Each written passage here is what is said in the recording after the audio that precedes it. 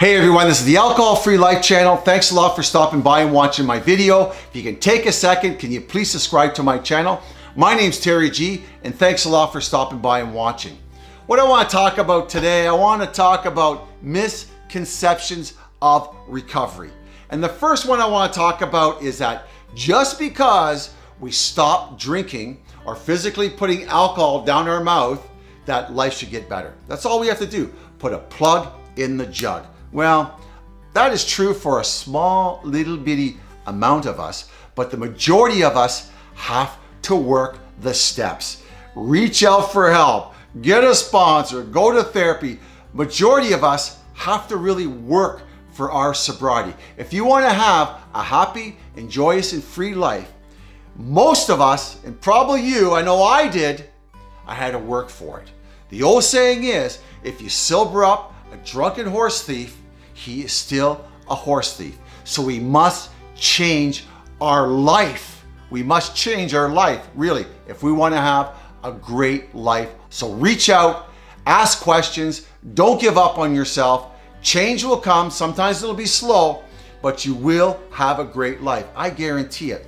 The next one is, is that somehow alcoholism is a moral failure. And society looks at that like that too. But for some reason, alcoholism is a moral failure. And all we have to do is hammer it, hammer it, hammer it with our willpower. Well, let me tell you something. I wish that was true too, but it's not. Alcoholism is not a moral fail failure, and your willpower, if you have the disease of alcoholism, will not stop it. Will not stop it. I believe I was genetically predisposed to it from birth. I believe that. And when I drink, my body chemically reacts to alcohol a lot different than other people. That's why it's an illness. It's acute, it will kill you. Willpower will not stop it. So it's not a moral issue or it's not a lack of willpower. It's an illness, much like cancer or diabetes. Really, really is. The third one is, is that relapse is a part of recovery. I hear about relapse all the time. I've been in 12-step programs for many, many years, and it sounds like relapse is a part of recovery. It's kind of was a part of my story, but it's never been a part of my recovery. Relapse is not a part of recovery. Relapse is the lack of recovery. You know, we relapse long before we actually pick up the drink. It's our inability to handle people, places, and things in our emotions that create a relapse. It's insanity that makes us relapse. And the reason people relapse is because really they're not in recovery. They're thinking about it, but they're really not in recovery. They're not working their steps. They haven't been totally honest with themselves. So they stay on the fringe of things. If you're in recovery and you're working your program, relapse will not be a part of it. Like I said in, in the other example of misconceptions. Recovery is hard. We need to walk through those difficult times and use our support systems to get us through that. And you will find out you will, you will have no need to relapse. So relapse is not really a part of recovery.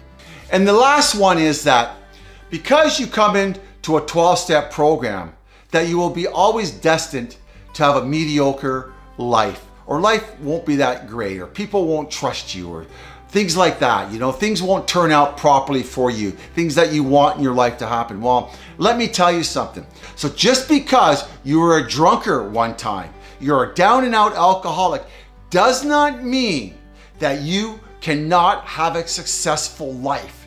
It doesn't mean that. And if somebody tells you that, that because you were once an alcoholic and your life was shit, you're never going to have a successful life, a family, be a family man, or have a woman having a baby and having a happy husband. Let me tell you something. That's a lie. Your chances of having a great life, being sober, are the same as anybody else.